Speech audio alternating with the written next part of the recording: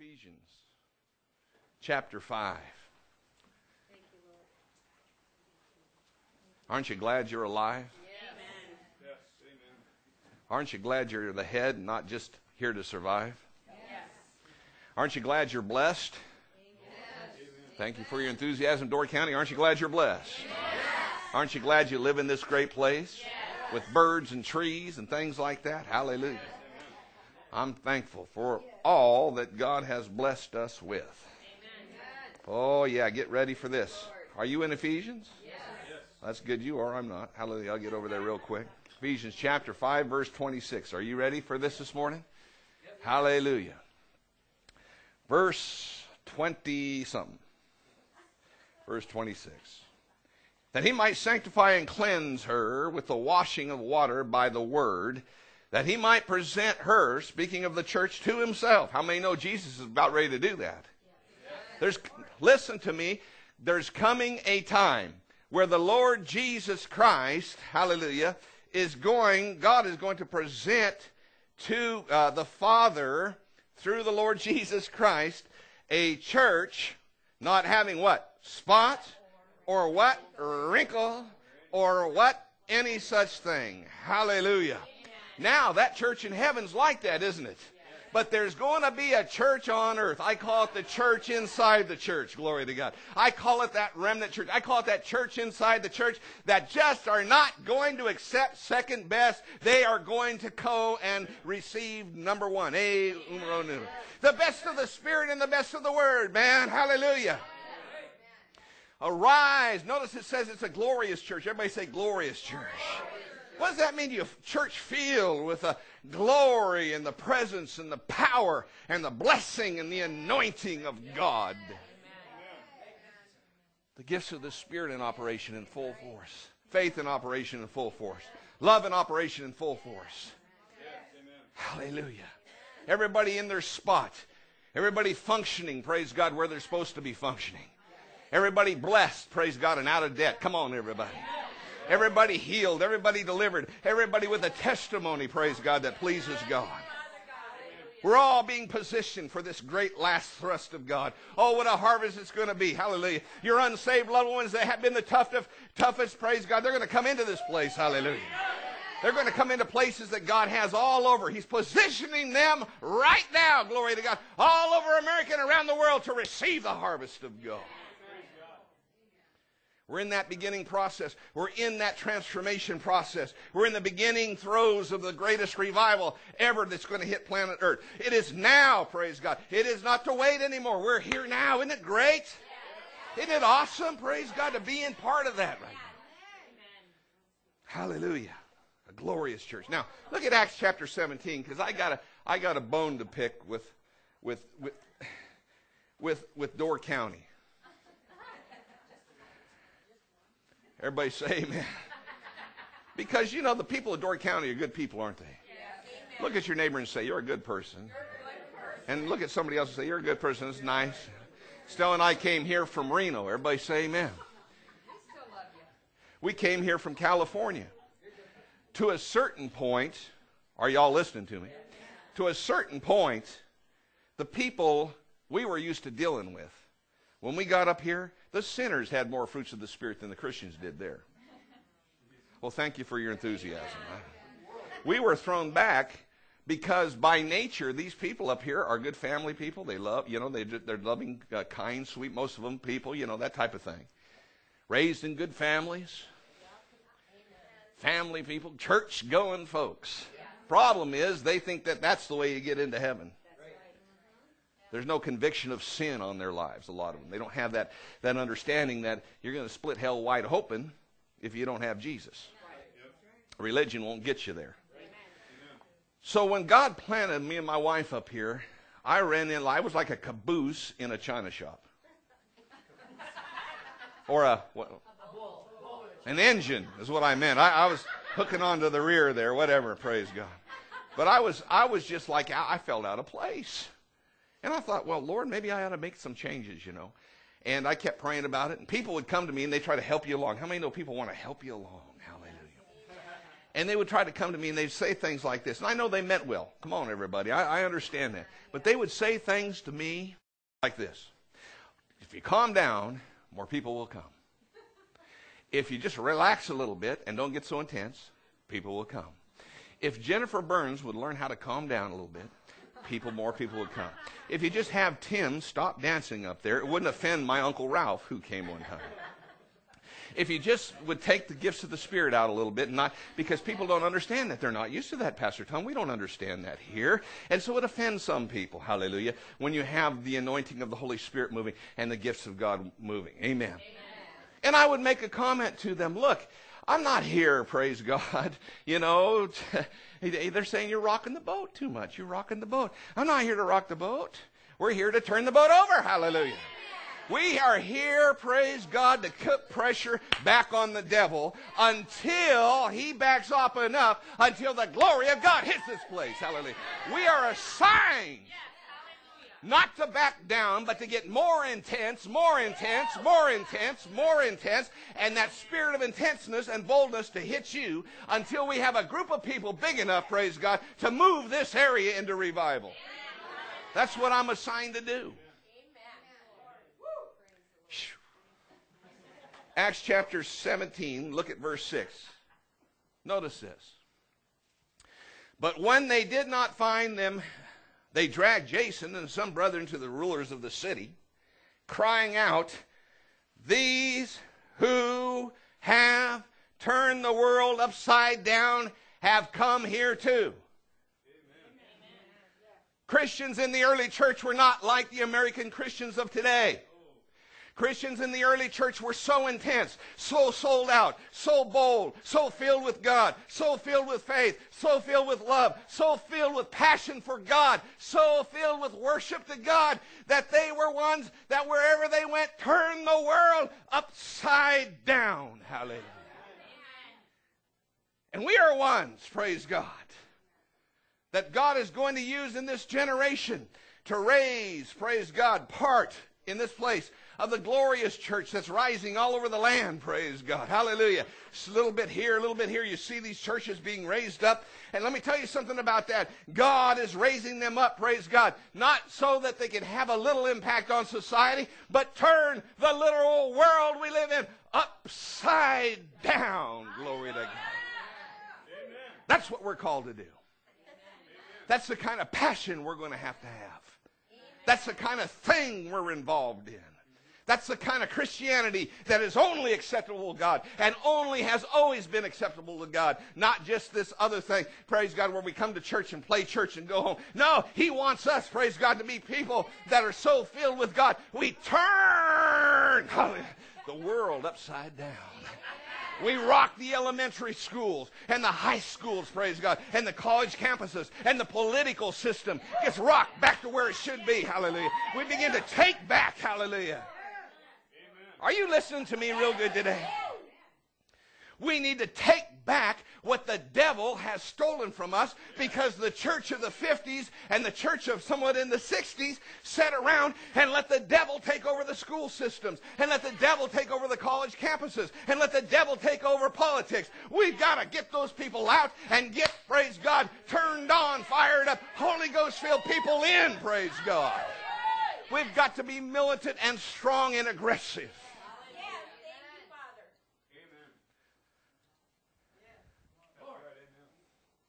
Now, what's it going to take? Well, look at Acts chapter 1. Let's look at some of the principles.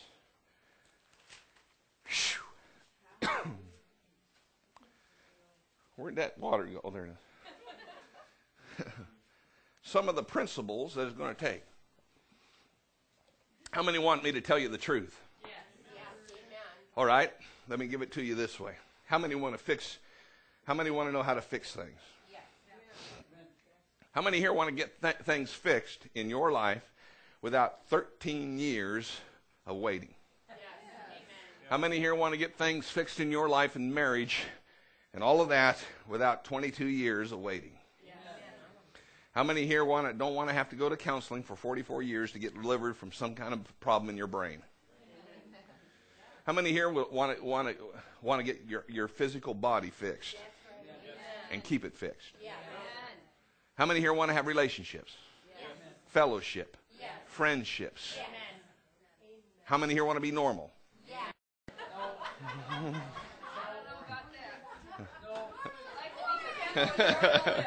I've trained you well. How, how many here want your God's best for your life? Okay, I'm going to share with you something today that people don't tell you. And we, we move around it in churches. We try to figure out how to do these things. We try to use a men's method every way, which way that we've got things going on. Motivate, do this, do that. Try to yank, crank. And if you just do this, I'm telling you, it's not that hard. Come on, everybody. God has given us a, if we look at it, a recipe, so to speak, that if we just do this one thing, everything else begins to fall into place. Hallelujah. I haven't understood Christians for years. Me and my wife haven't understood them. How come they have so many problems and things in their life all the time? Sure, you're going to have challenges. Everybody say amen. I mean, I understand that. I've had more challenges than any other preacher up here. Amen. I got people who believe I'm a kook. I do. I, I, got, I, got, I got people, other preachers and stuff, that think that we're just, you know, we're too far out there and so on. But the truth of the matter is, I really don't care about that because I run with a group of kooks. Not only here, but all over America. I've got groups of kooks. We go, we get together, and we just get kooky. Everybody say amen. Hallelujah.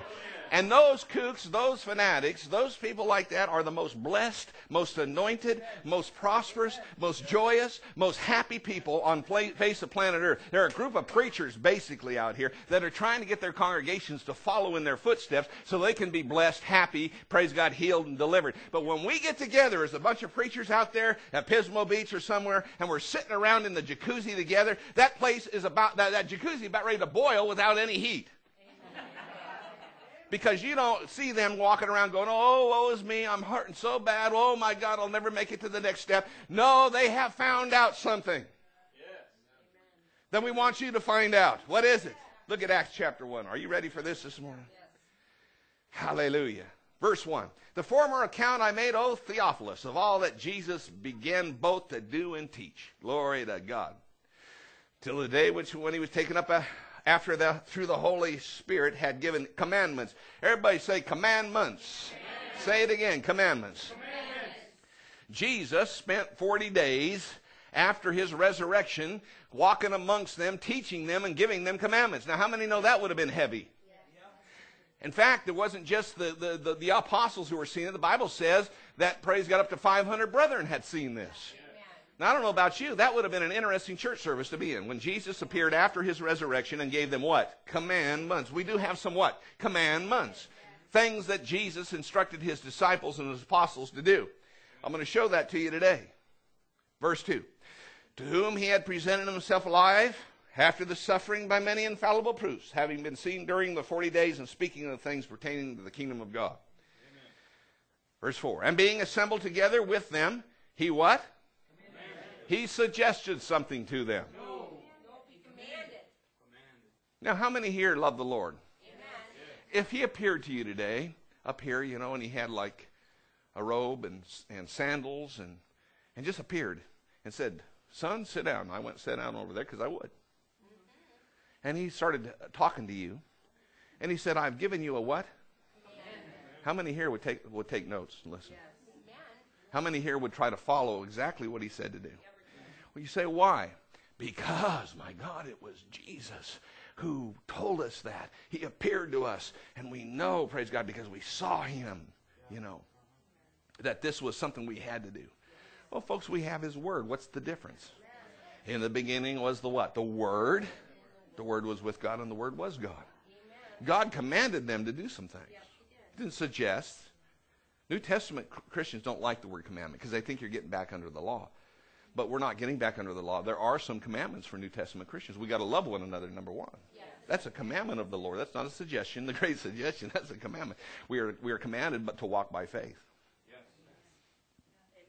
Because anything that's not a faith is what? Sin. But I'm going to show you where it all started. I'm going to show you where it all started today and why there has been what has been the missing link in every church in the world. Even Word of Faith churches have a missing link. Everybody say amen. With, mo- with a lot of the people in there. Not because they don't have the potential to walk in this, but simply because after they receive an initial experience in this area, they give up on it and they apply it like they should. And therefore, and because I'm writing this book right now, how many know it's on my heart? But just because if they would uh, continue to apply it, as you will see, they would stay in the place where they need to be, and there wouldn't be this up and down, jumping up and down, and, and backsliding, and, and, and, and, and going through times where, where, where they're not really pressing in like they should. And we wouldn't have this idea, praise God, hallelujah, glory to God, where Jesus had to tell us that only one out of four got the word where it hit their heart and they bore fruit. Everybody would be, it would be hitting their heart and bearing fruit if they would just listen. Because how many know the early church turned the world, what? Upside down. How many know we're still part of that church, by the way? It hadn't changed. It's not the book of Acts, it's the book of the church. Hallelujah. We're still writing that sucker. When you get to heaven, you're going to find out that that book's longer.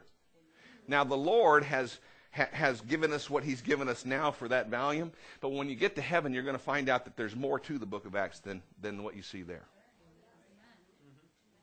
We're still writing that thing. You're writing it. I'm writing it. Thank you for your enthusiasm. Maybe I'll go preach in California. They like to shout out there. Hallelujah.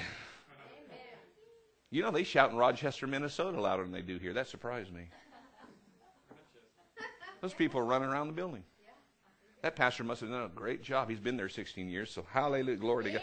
Or six years or whatever, six years. All right, look at this, verse 4. And being assembled together with them, he what? Commanded. He commanded them. Now, what did he command them? Now, how many know if he commanded them this, he, it was probably part of what he was talking about all the time? There's some things I'm certain he talked to them about. Number one, you're going to walk in love. Number two, you're going to walk in faith. Number three, this. Probably not just necessarily in those, but I'm sure that those are things he talked about. He told his apostles, everybody in the church must be filled with the Holy Ghost and get filled, speak with tongues, and stay filled with the Holy Ghost for the rest of their life. If they don't, you know the reason I know this? Because if you look everywhere they went, the first thing they ask them, Did you receive the Holy Ghost since you believe? Very first thing. Next book I got coming out has that. And you'll follow it. Very first thing they told the very first thing I, I, when I when I talk to somebody out there that just got saved, I say to them, Have you received the Holy Ghost since you believe? Why? It's vital. Amen. Absolutely vital for us to be able to participate in the things that God has called us to do and to say and to teach and to be. If you're not totally immersed in the Holy Ghost, it's going to be very difficult to be able to keep the things that he says in there because it's all based on us being powered by the Holy Ghost. That's why Jesus told his disciples, Look, man, it's better that I leave. They're all going, What do you mean it's better that you leave? If I don't leave, the Holy Ghost can't come and live on the inside of you. Glory to God. And then greater is he that is in you than he that is in the world. Hallelujah. We begin to flow into some things that are so powerful because God Almighty is on the inside of you. That blood has cleansed you to the point to where God can come on the inside of you. That's pretty good cleansing. I don't think you can get any more cleansed than that people for years have, have talked about how sinful we are. Well, as far as God's concerned, you know, we need to deal with sin. What do you do? You confess your sins, but thank God, as far as God's concerned, the second you receive Jesus, He does a world class cleansing job on you that is so good that Him, He Himself can actually, the Holy God can live on the inside of you and your spirit. That is powerful, man. And the church has never heard that. We've never really heard that. We never really saw that. We've never really had that demonstrated to this generation. God inside you, Christ inside you, the anointed one. Then the hope of glory is on the inside. Man. Think about that. He comes to them, he commanded them not to depart from Jerusalem, but to wait for the promise of the Father, which he said, You have heard from me. For John truly baptized with water, but ye shall be baptized with the Holy Ghost not many days from now. Therefore, when they had come together, together asked him, saying, Lord, will you at this time restore the kingdom to, to Israel? And verse 8 says, And you shall receive what? Power when the Holy Ghost has come upon you. It is important for the church to be empowered. Why? To be a witness, to be witness, to witness, to be witnesses. We got to have that power. Everybody say amen. amen. Now, it's important for us to understand, and if you look at Acts chapter 2, of course, verse, verse 1, when the day of Pentecost is fully come, they were all with one accord. Everybody say in one place. They all believed this. They were all waiting for that commandment. They didn't understand what it was going to happen, but they knew God had commanded them. Jesus had commanded them, and they waited. They're going to wait. Guess what happened to them? Praise God. When they were there, suddenly there's a sound from heaven as a rushing mighty wind. It filled the whole place where they were sitting. Amen. He says, there appeared to them divided tongues as fire set upon each of them, and they were all, everybody say all, all. filled, what? Filled, immersed, baptized, dunked, completely submerged.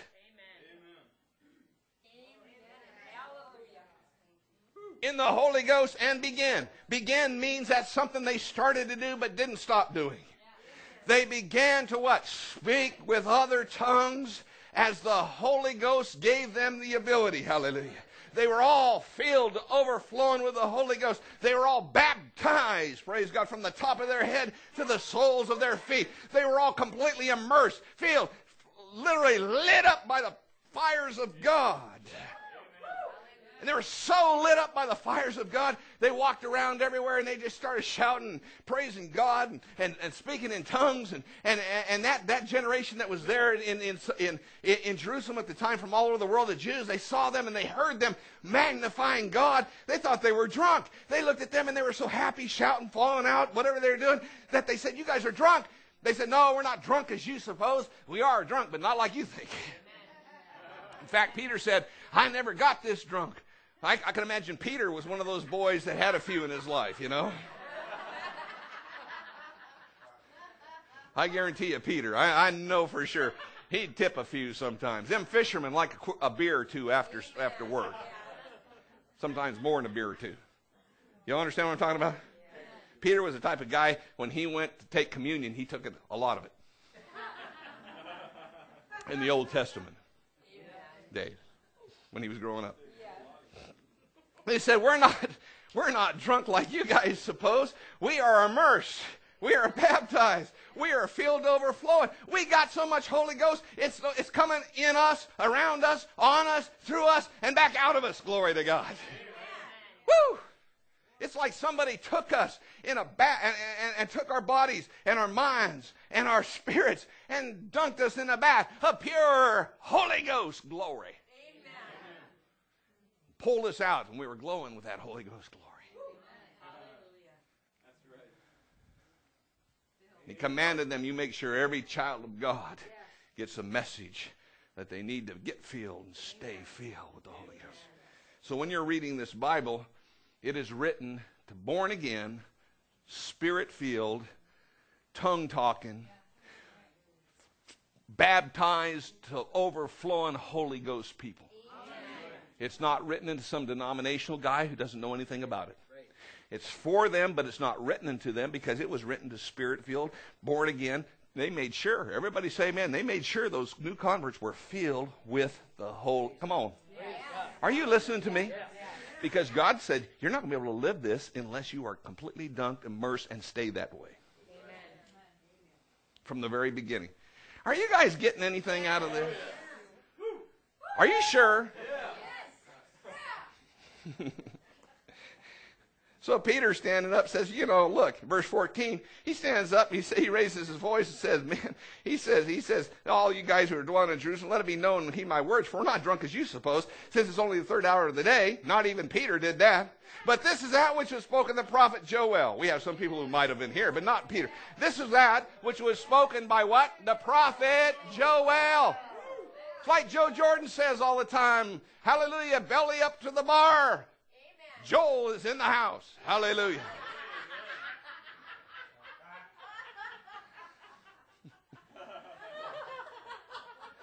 Everywhere we go, they call my wife the joy lady. And I, you know, we, we were at we were at Santa Cruz. Everybody say Santa Cruz. If you got anybody that's depressed, it's Santa Cruzium. They're all on dope. The government provides it for them. It's like Amsterdam. Belly up, get your drugs. We'll give you drugs, and if you can prove you're psychotic, which is easy to do, we'll give you dope.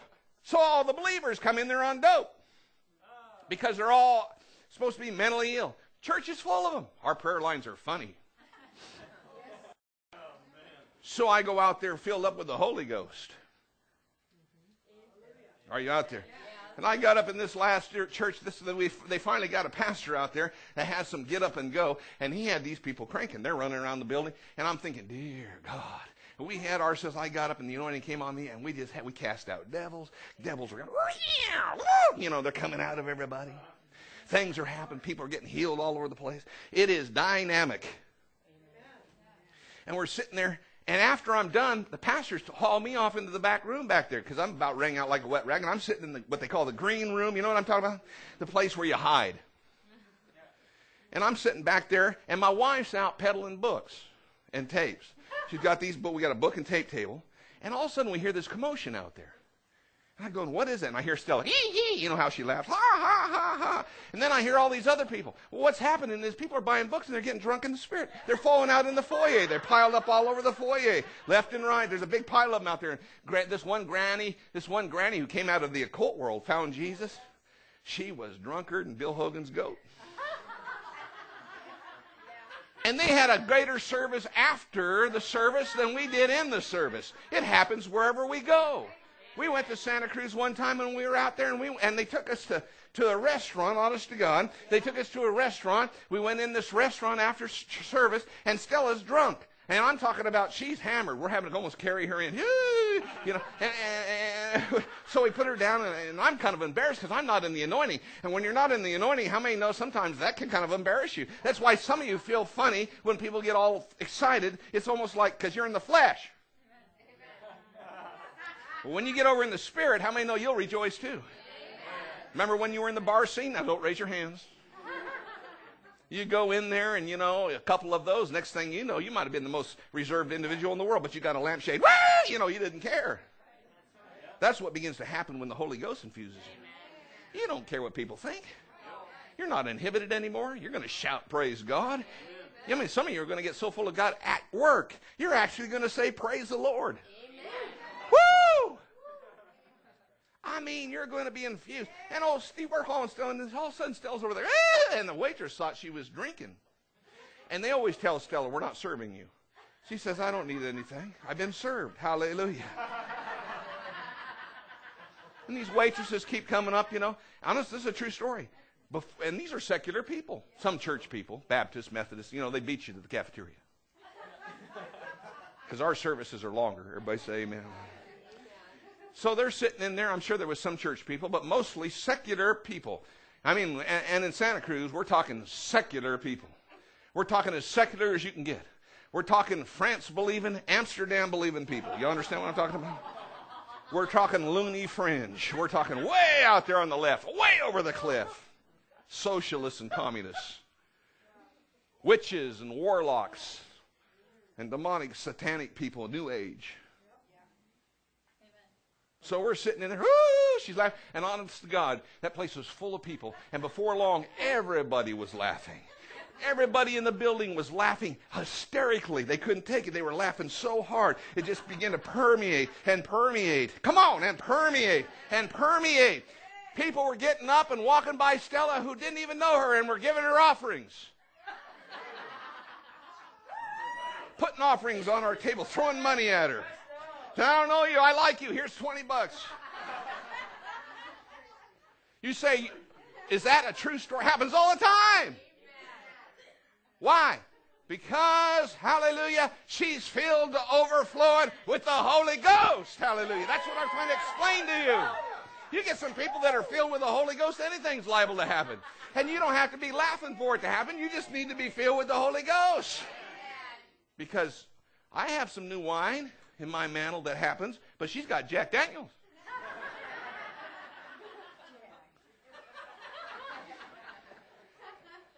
All right.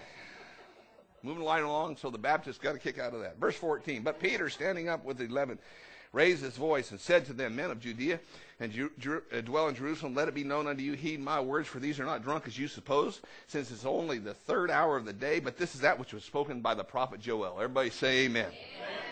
Glory to God. I said, Glory to God. Look at down at verse 36. Therefore, let all the house of Israel know surely that God has made this Jesus, whom you crucified, both Lord and Christ. Now, when they heard this, they were cut to the heart. Everybody say, cut to the heart. Wow, when you get filled with the Holy Ghost, your words will cut them. You can get up and smile at them and say, I love you. You know, they'll just cut them to the heart. Why? There's power there. There's dynamite there. It's not like, oh. You know, this is why I like our, our group of preachers that I hang with. We, we get up and we just let you have it. Both barrels without any kind, praise God, of worry about whether you're offended or not. Everybody say amen. No, I'm not going to offend people on purpose because of my personality. My personality will offend somebody, but that's their problem. Amen. But when you're giving them the word, how many know, praise God, if they get offended, Jesus did that. He offended everybody. He offended people everywhere he went, just offended the fire out of them because he was trying to get them to change. And if they would listen to him and they would hook up with him, how many know they would change them? Y'all understand what I'm talking about? They were cut to heart, said to Peter and the rest of the apostles, Men, what, brethren, what must we do? Then Peter said to them, Repent, let every one of you be baptized in the name of the Lord Jesus Christ for the mission of sins, and you'll receive the what? The gift of the Holy Spirit. For this promise that you're seeing right now operating in us is to you and to your children. Everybody say to them, to them. Their, children, their children, and to who? all who are what? Afar off, as many as the Lord God will call. Now, who does that leave out? Does that leave out Baptist, Lutheran, Methodist, Catholics? Anybody that God calls is commanded by God to be filled with the Holy Ghost. Not suggested. Commanded. And if they don't, they're never going to be able to receive all that God has for them. Their lives are going to suffer. Now, listen to me. And they're not going to be able to re- walk in the benefits and all, praise God, that Calvary has to offer. Amen. Now, go over to Acts chapter 4. I want to show you this because this is important. And I'm going to speed this up because we got to, we're going to receive communion today. Are you guys getting anything out of this? Then we're going to the zoo. Hallelujah. Woo! Verse 20, uh, let's look. Okay. They take, uh, verse 23, they took him out and beat him, said, Don't preach anymore in the name of Jesus. the religious people. You know, they'll do that, they'll beat on you. I've had people beat on me, same spirit. Stop it. Not so loud. Don't let Sister so and so get excited. Tone it down a little bit. Don't preach so much. You know, I just don't care. I'm 50 years old. Everybody say 50. 50. I don't care anymore. Amen. In fact, I didn't care back then. But the older I get, it's like Larry Huggins told me. He says when people come into my church and they got a goatee spirit, he says I just move them down the road the first week. Hallelujah. I don't wait because I'm wiser than I used to be. Just kick. They're going to go anyway, and they might as well leave. Everybody say amen. And I don't get offended when people leave my church. I don't. Because if they leave my church, I got the right, because God gave me a promise, to claim, He's got three good ones in their place. Amen. Amen. And I do. That's what I do. So don't ever let the devil turn a negative, get you bitter. Turn a negative into a what? Positive. If Satan steals something from you, just stand up and say, I'm going to get it back sevenfold. Amen. You've got to return that to me, puppy. In the name of Jesus. Then you see, you just make him mad and he doesn't mess with you so much because he knows you're going to put the hammer down on him. And your faith is going to overcome that situation. That's what God wants you to do all the time. We ought to be the most positive, most we ought to look for things we can do just to make him mad. Hallelujah. Glory to God. Just to ruffle his feathers. You understand what I'm saying? But I don't mind people leaving. I mean, that's that's up to them because we're going to get a group of people eventually that are, praise God, what? Filled. Say it. Filled, immersed, baptized, completely and totally, praise God, saturated with the glory of God. Flexible in the presence of God, willing to do whatever God says. Hallelujah. If God says run around the building, they're going to run around the building. They're going to jump, jump, shout, praise God, witness, whatever it is. Give, praise God. Just give because they, praise God, they're free. If you're drunk, you spend money like a wild dog. Everybody say amen. You just, you don't get me. And, and, you're gonna, you know, you're gonna go, sometimes you're gonna come out of meetings and go, what did I do? And then you're gonna realize, hey, it doesn't matter. Praise God, because somebody will knock on the door and that seed that you planted will come back to you 30, 60, or 100 fold.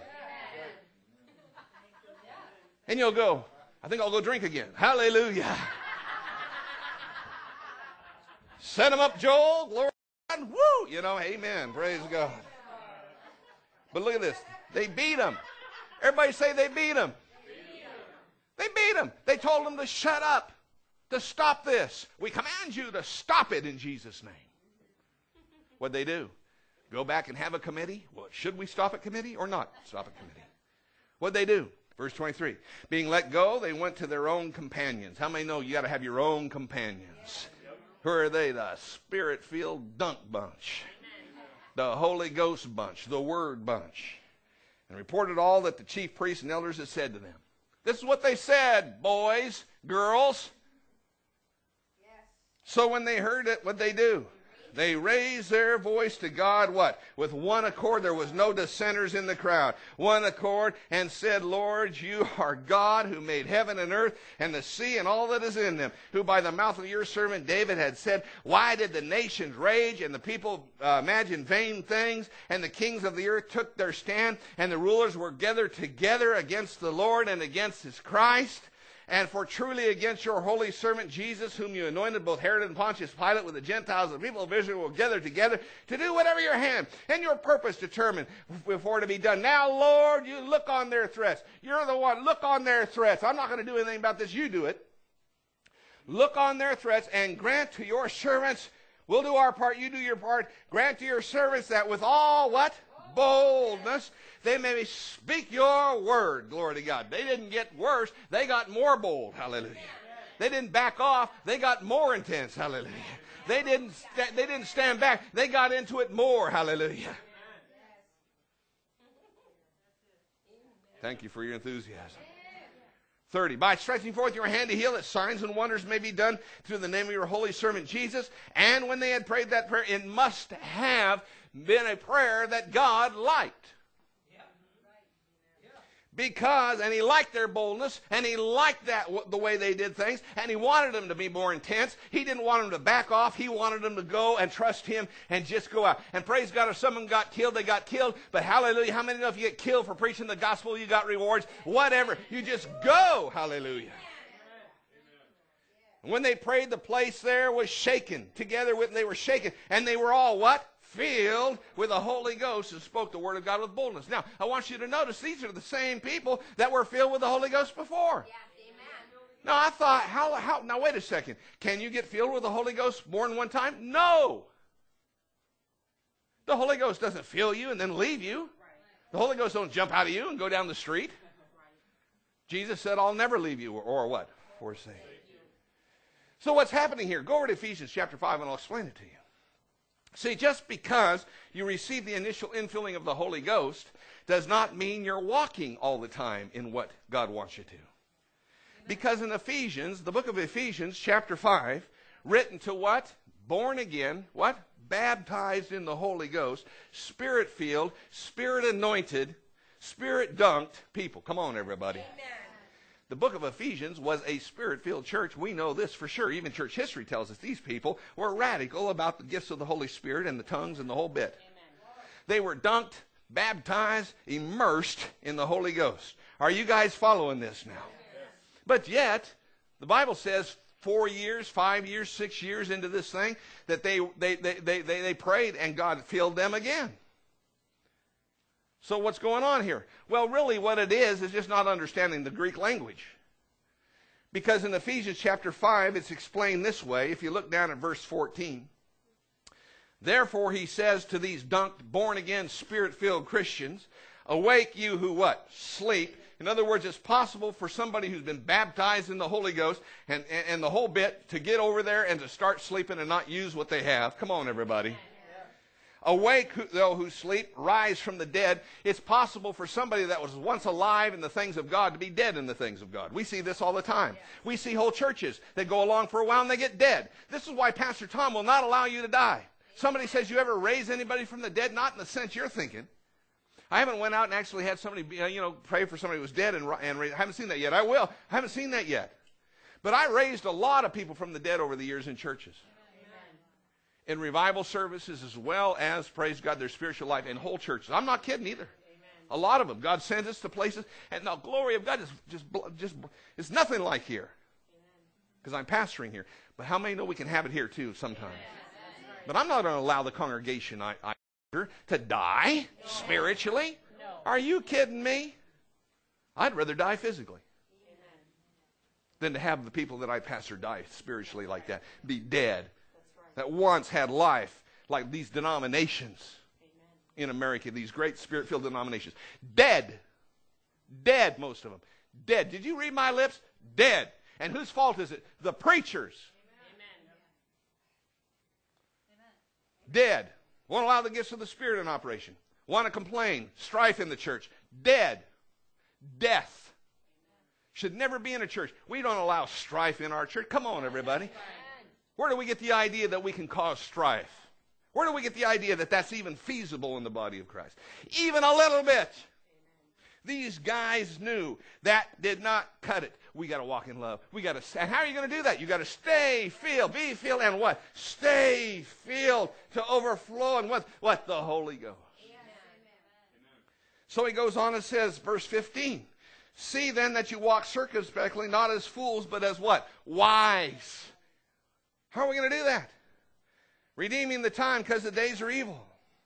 Therefore, do not be unwise, but understand what the, the, will of the Lord is. They had lost the understanding, some of them, about what the will of the Lord is. What is the will of the Lord? Back to what Jesus commanded them when they first, praise God, uh, uh, what got into this thing, he tells them, look, do not be drunk with wine in which is dispensation, but be what? Filled with the Spirit. He's writing to Spirit-filled Christians, but he says, be filled with the Spirit. So if you go back to the original language, this, is, this explains it. The Bible says it this way Be ye continually overflowing or filled with the Holy Ghost. It is not up to God to fill you with the Holy Ghost down the road every 15 days or something like that, you know, and just pour something out on you. It's up to you to keep yourself stirred up. Come on, everybody. Praying in the Spirit, walking in the Spirit every single day to keep yourself filled with the Holy Ghost. Because if you don't, you're like me. You get carnal. Or am I the only one? And when you get carnal, you have problems in your marriage. You have problems with yourself. You got problems with your flesh. You got problems with your mind. You got problems, praise God, over here with the, whatever you're doing at your job. You got problems, problems, problems. But when you get filled and stay completely and totally immersed, praise God, filled, praise God, with the Word, filled with the Holy Ghost, overflowing with the things of God, you walk out there no matter what happens, you're rejoicing and shouting and praising God. And you just go through it, man. Have you ever experienced that? You know what I'm talking about. All of you do. What happens is we go back. Many times we don't stay filled. What's the difference between those preachers I was talking about you? They learn to stay filled. They got to. They got to preach the next. You can't go into a service like that. We're, we got more pressure, so we got to. We got to press in. That motel room, we walk around and woo, yes, you know, before service. I remember one time anointing, anointing God coming on me so strong. We're in the glory cloud. The glory cloud's in my room. I can't hardly see. Stella's in there. She's, she, I don't mean to be vulgar. She don't have any clothes on. She's in there, you know, putting her.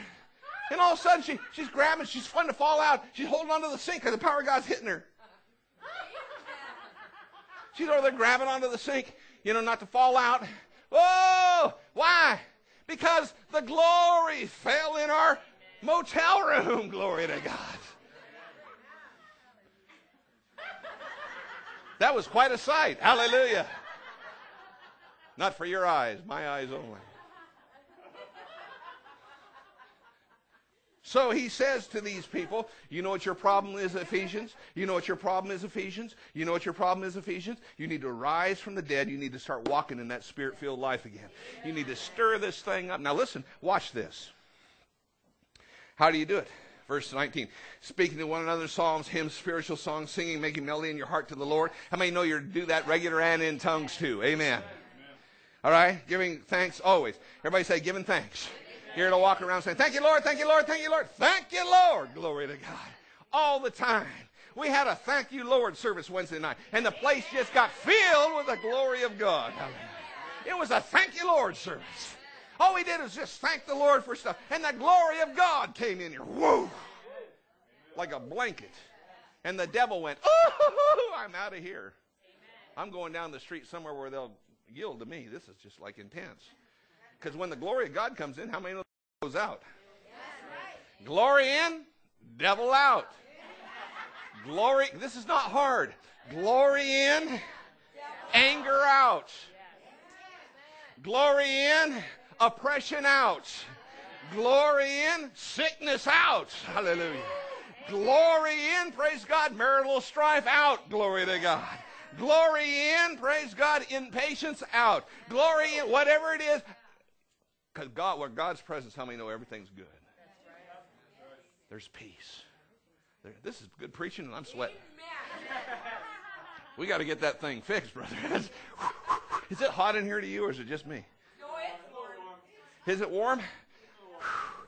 Man, it's going to be good in the winter, but we got I don't know it's going to be this hot this summer. Everybody say amen. Are we living in Door County or is this Texas? I don't know.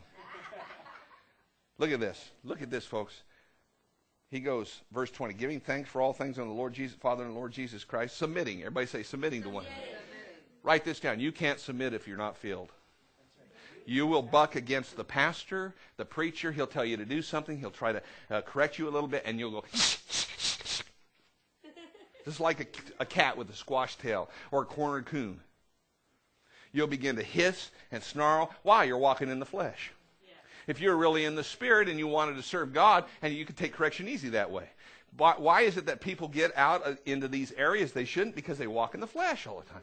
They were once filled with the Holy Ghost, but they're not really walking in that spirit filled life. It's very apparent. Everybody look at your neighbor and say amen. amen. We are to submit to one another. I'm going to put people in positions, already have. And you're going to have to learn how to submit to them. Amen. We got little Pastor Tim and uh, Jennifer here. You're going to have to learn how to submit to them. Right. Well, they're younger than I am. What has that got to do with anything? It has nothing to do with anything in the realm of the Spirit here.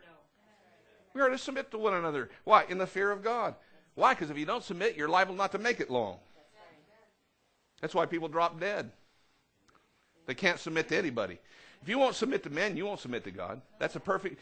If you're not submitted to, to men somewhere, you're not submitted to God. I promise you that. Same same thing. If you're submitted to men, you, you, you can't really submit to men unless you submit to God.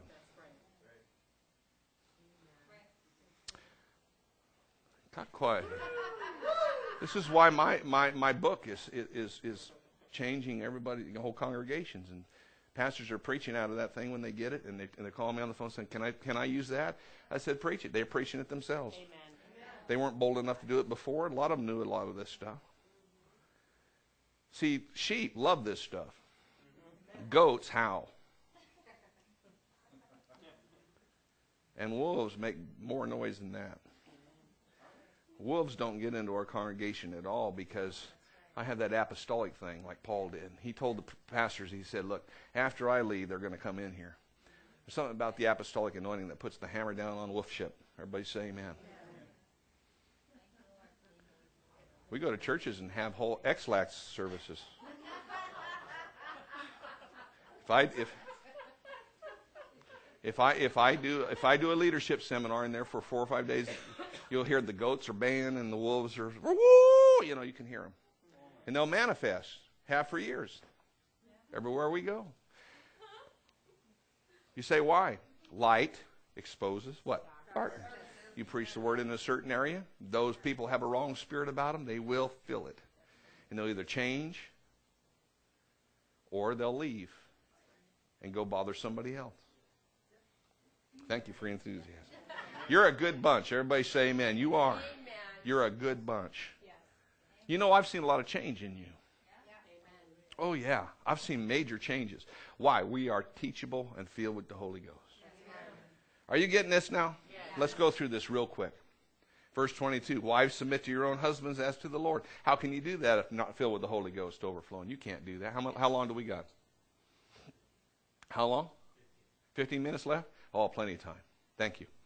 Everybody say amen. amen. Did y'all hear what I just said? Yes. Your wife's never going to submit to you if she's not filled with the Holy Ghost and stay filled with the Holy Ghost. Forget it. This is why you got, you know, these women who wear the pants, who run around trying to dominate their husbands, dominate the church, dominate everybody else because they think they're so spiritual. If you're filled with the Holy Ghost, how many know you have a submissive spirit? That does not mean that you get beat on, ladies. Come on, everybody. And all that junk. Because he goes on to say, verse 23, For the husband is the head of the wife, as Christ is the head of the church and the Savior of the body. Therefore, just as the church is subject to the Christ, so let us be to theirs, their own husbands and everything. But then he goes on and says in verse 25, Husbands, what? Love your wives.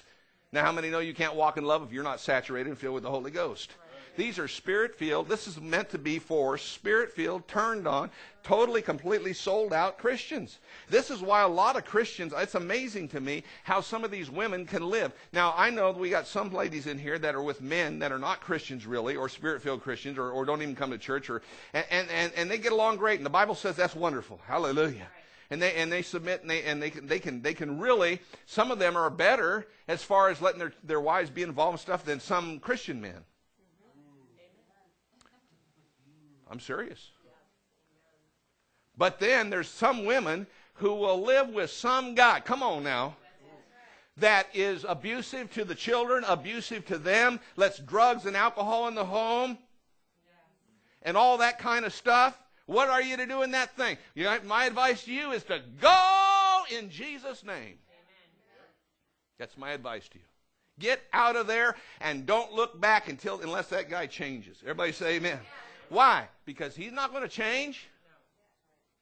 If he hadn't changed up, well, I married him, you know, and, and I know he'll change. You better not marry somebody thinking they're going to change, honey. If they're not there now, I guarantee you, I promise you, most of the time, if they do change, it's going to take you 10, 20 years of hell.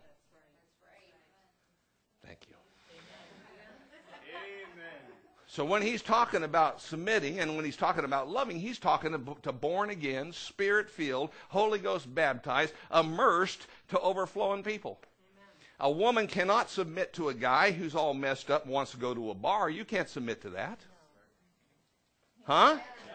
And you can't, and a woman, listen, listen, wife, you cannot submit to a man who wants to drag you to some dead church. Thank you. You're supposed to be shouting a little louder. You can't do that. You cannot disobey Jesus because your husband's an idiot. You can't disobey Jesus because your wife is an idiot. I remember Norval Hayes, one of the greatest ministries we've had in the last 50 years in the church. One of my spiritual dads. This guy is intense. He's one of the most anointed men you ever met. He's a multi, multi millionaire, yet money has not, no hold on him whatsoever. He's the humblest man you ever saw and one of the most powerful, anointed people you ever saw in your life. But when he first got saved, he was married to a lady because, you know, wealthy people, and he had a lot of money even then. How many know women like that? So he had a woman, country club woman. She, he says, she looked like Elizabeth Taylor. And for Norval, that's saying something. And he said, This woman, he said, she was just so beautiful. And she, in some ways, she was really a great wife and mother and everything. But he says, You know what? He says, Jesus came to him in a car when he was out in the car and sat next to him. Literally, the glory of God filled that car and broke him down. He began to weep. And Jesus said, I've called you to go preach the gospel and, you know, and so on and so forth. And he went home and told his wife, and she says, We're not going to any of that fanatical stuff. Now, he'd been going to church. He's in, in a Baptist church. I'll just say it because he said it. And all this stuff, and she wanted to look real good and nice. But this Holy Ghost stuff and all that, she ain't having no part of that. You do that, I didn't sign up for that. So what's Norval going to do? Compromise and go back? I'll tell you what he did. He said, Look, he says, I love you and I want you to come with me. But if you're not going to come with me, hallelujah. See that door? See the knob on that door? Don't let the door hit you where the good Lord split you. Gave her an ultimatum because if she didn't want to serve God, he's going to serve. Come on, everybody. You know what she did? She left him. Didn't turn out the way he wanted to. But he also had one of the greatest ministries in the history of America. Everybody say amen. 80 something years old, still just cooking. Got married again finally. 78 years, 76 years old, finally found one. He says, Oh, I found one I think is good, but you know it took him six years to marry her. 76. I thought, Norval, you better hurry up. You don't have, maybe have that much time here, you know. He didn't care. He wanted to make sure she was the right one. She, he, he looked her over, checked it over. Finally married her. Everybody say amen. Hallelujah. Amen. See, there's, there's more important things than being married, folks.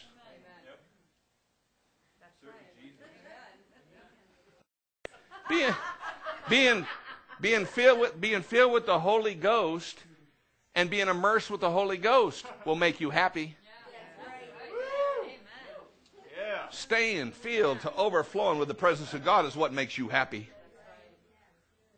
Are you guys out there today? I know this is not what you hear at First Church, but I'm telling you the truth about this. Now, I didn't say leave your husband because he has a few problems or whatever. I'm saying these writing to these husbands that are baptized in the Holy Ghost, filled with the Holy Ghost. And he's writing, writing to wives that have been baptized in the Holy Ghost. And a little while later, he's going to write to children that have been filled and baptized with the Holy Ghost and taught to stay filled with the Holy Ghost. You, can you do that with your children? You got that right. Jennifer will tell you right now. This, this big, got her filled with the Holy Ghost when she was four. And I took her with me. And I walked for hours. And I held her on my arm, praying in tongues. And she prayed in tongues. She learned how to do it from the very beginning. It's, it's not up to them to learn that. It's up to you to teach them.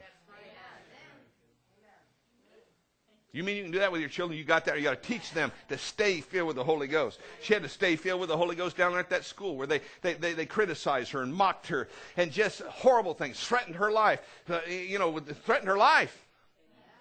She had to stay filled with the Holy Ghost.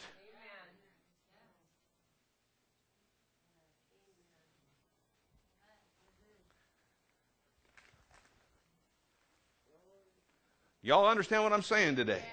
Now let's read this very quickly because I got about 10 minutes or 5 minutes left. Husbands, love your wife just as Christ loved the church and gave himself for it. That he might sanctify and cleanse it with the washing of the water of the word. How many know uh, to be able to use the word of God and for the word to have full effect, you've got to stay filled with the Holy Ghost? Everybody say amen when I say I'm saying, I, I want you to listen and, and say amen because it's true. You can come down here all the time. If you're not filled with the Holy Ghost, my words won't penetrate. The, the preaching and teaching won't hit good ground. you got to keep your heart filled with the Holy Ghost.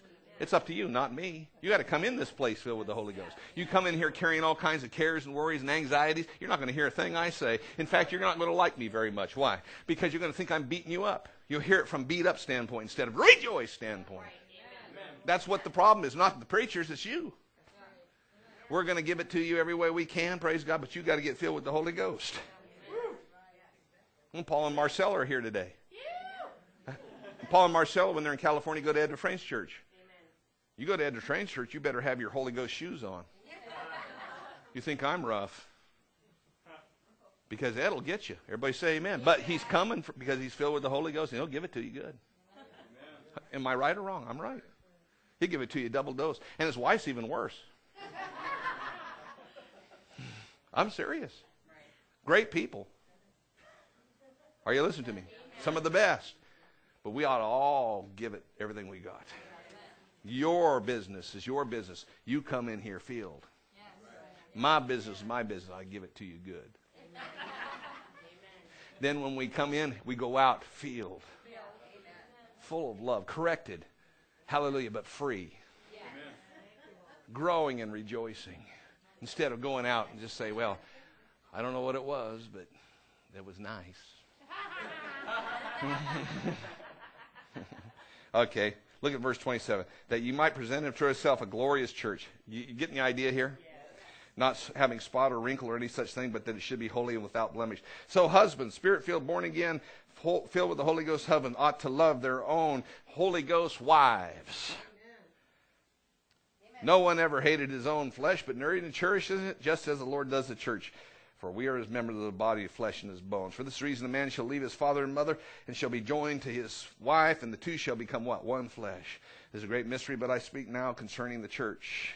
Christ in the church. Nevertheless, each, let each one of you particularly so love his own spirit filled wife. Amen? Himself and let the wife see that she respects her born again, baptized in the Holy Ghost, submissive, full of God husband. Everybody say amen. amen. Now, how many know Paul didn't go, well, chapter 6. So let's keep reading, just like chapter 6 is not there. Holy Ghost, Spirit filled, baptized, immersed children, obey your parents. Now, if you get your, your, your kids filled with the Holy Ghost, they stay filled with the Holy Ghost, how many know they're not going to disobey their parents? And if they do, you should do something about it. What should I do? You should do what the Bible says. You should sit down and you should instruct them. And if they continue to do it, then what you do next is you sit down and say this I love you very much, and this hurts me more than you, but give me that little lumber, wacko. Are you listening to me? Not, not hard enough to abuse them, but to let them know that they have been whacked a little bit. Then you send them down and you take them to the scriptures and you show them where they disobeyed and you love on them and forgive them and give them a hug and say, I didn't want to have to do that, but that's what happens when you disobey. If you go out here and you disobey your teachers, that's what's going to happen to you. You go out here and you disobey, praise God, the, the authorities. This is what's going to happen to you. You'll, you'll end up uh, in jail, and that's harder than what just happened here. And I'm trying to teach you not to get into jail. We're born again, spirit filled Christians. We don't act that way. Come on, everybody. Y'all getting this? Now, this is a parenting class. Just get filled with the Holy Ghost. Amen. Stay filled with the Holy You can even make mistakes, and God will still turn around for good. Amen. And don't be afraid if you punish your children for something that was stupid or they didn't do to get down on your knees and say, I'm so sorry, I made a mistake. You know what? That's a good thing. When you do that and look them in the eyes, they go, wow, my daddy and mama make mistakes, but they're humble and they ask for, yes. Amen. You guys getting anything out of this? Yes. Children, obey your parents. You spirit filled children, obey your spirit filled parents in the Lord, for this is right. Yes.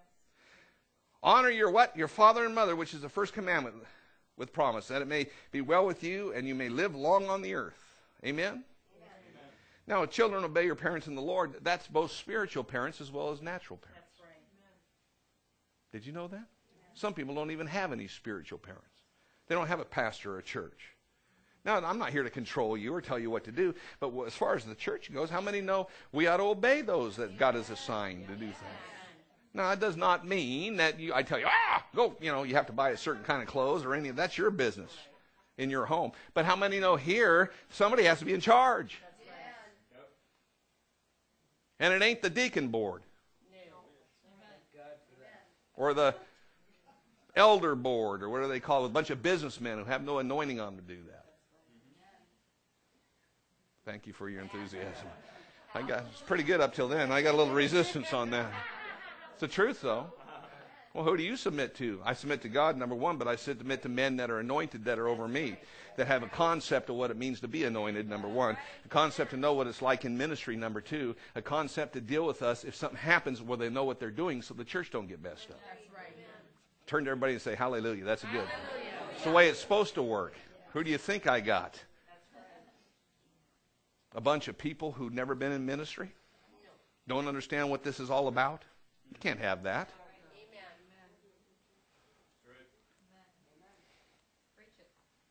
Verse 4, we're finishing. And your fathers do not provoke your children to wrath.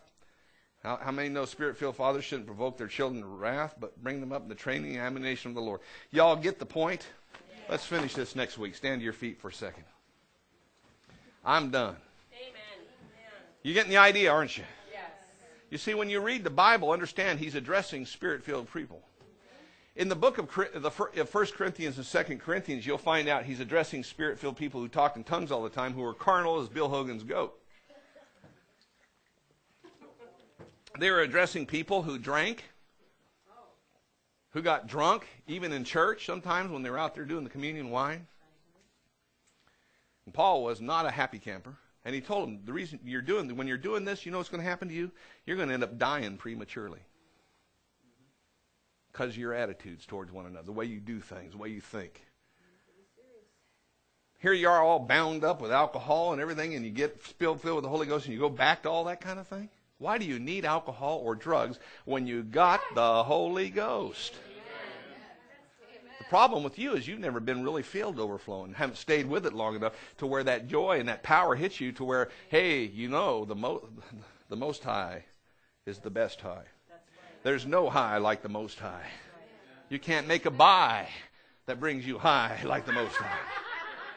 You can't even come close to that. You can't even come close to that. Everybody say amen. There ain't no nothing in that world that is like being filled to overflowing with the Holy Ghost. There is nothing. There's no material thing.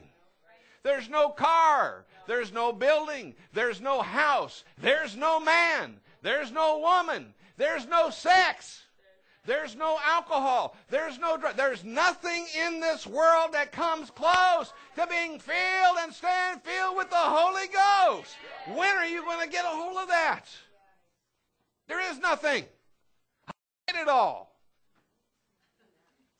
I was like Solomon, tried it twice. When I sinned, I did it with fervor. When I went out to the bars, I gave it my best shot. When I did things, I did them all out. And none of it brought me any lasting peace. Are you listening to me? But when I got filled with the Holy Ghost, I'm the same way today. I'm more excited now. I pour my things into the things of God now. I don't want those things. I want everything God has. Hallelujah. They are the things that last. These are the things that are eternal. These are the things that bring you joy. You can try for the rest of your life to find out what brings you peace, but I'm telling you, you're going to come someday back to the cross, get down on your knees, make Jesus your Lord, get filled with the Holy Ghost. So why wait? Why not do it now? Because that's where you're going to end up anyway. Especially if this bunch is praying for you. You can rebel and think you're going to get it some other way, and you, there's another way to do this, and so on and so forth, but there is no way but God's way. Jesus said it this way I am the way. That settles it. Yeah, but don't you think maybe they're Mohammed, some of them? No, I don't. Don't you think Judaism? No, I don't. Don't you think Muslim? No, no, no. Jesus is what? The way, the truth, the life. Everybody say amen. amen. How many got something out of this today? Raise your hands, just go like this. I got something out of that. Now, what is it? What is it? You got to stay filled with the Holy Ghost. Your life's going to go array. You were created and made to stay filled with the Holy Ghost all the time. Everybody in here. Not live any of your life not being filled, staying filled and immersed. It's dangerous nowadays. We're getting to the point now to where it's just downright dangerous. You can't have your kids go out to a secular school and they're not filled with the Holy Ghost. Are you kidding me? How many know people are nuts? There's a lot of people out there that will kill you for a pair of shoes. There is. There's people out there that are so demented, they will kill you, they'll shoot you for no reason. You cut in line. You just cut in line out there on the, on the freeway somewhere in front of them, and they will go into a rage, such a rage that they will come, they'll come at you and they will shoot you. Did you know that? Not just hundreds of them, there's thousands of them. They're all over the place. Did you know there's thousands of serial killers all over the world? that kill people for pleasure all the time. They're everywhere. Did you know there's people out there right now that will embezzle you, lie to you, cheat you, steal everything you have, and don't care about your family, your kids, or anything? They'll take anything they can from you. They're so demon possessed. And they're everywhere. Did you know that? How many knew that? Raise your hands if you knew that. So we don't want our children and our people to walk out of here without being baptized and overflowing with the Holy Ghost. You say, well, Pastor Tom, what are you going to do about it? I'm going to tell you this right now. I have given altar calls all over America and around the world for people to get filled with the Holy Ghost, but today I want you to go home and think about this. And I want you to realize how important it is because you've seen it. Some of you have seen it for the first time. It's a commandment. Everybody say amen. amen. What I want you to do is I want you to get down on your knees in your room and just say, God, I want you to fill me. I want you to put me back where I was when I first got saved with that, that same experience. And I'm going to pray in tongues for a while here or whatever until I get to that place. And I'm going to walk in the Spirit. Everybody say amen. amen. The Bible says if you walk in the what? Spirit. You will not what? Fulfill the lust of the flesh. How many here are tired of religion? You, listen, how many came from churches where they're just they're loaded with hypocrites? Come on, just be honest with me about it. Just loaded with them. Go to church on Sunday, cuss like a sailor on Monday. Go to church on Sunday, and they get around their secular friends, and they're right back doing the same old thing. What is that? You're being pulled by the wrong spirit. Your, the Holy Ghost anointing on you, and your spirit has to be stronger to resist that pull. That's what God wants. In other words, you will be tempted. There will be temptations and pulls. But what you got to do is say, Greater is He that is in me than that pull. I'm walking away from this. And there's times, literally, you're going to have to walk right away from things. Family, sometimes they're doing foolishness. Come on, everybody. Friends. Oh, yeah, friends. Sometimes you're going to have old friends. You're going to have to say, you know what, I love you, but I'm going to have to cut off fellowship with you because you just, you just, you just want to push the envelope on this stuff. And I'm not like I'm a new creature. Hallelujah. What will you do if you do that? You'll get new friends. What will they be? True friends, not flaky friends that try to drag you back into things that, that are destroying your life. Join hands. I want to pray for you. This is important this morning.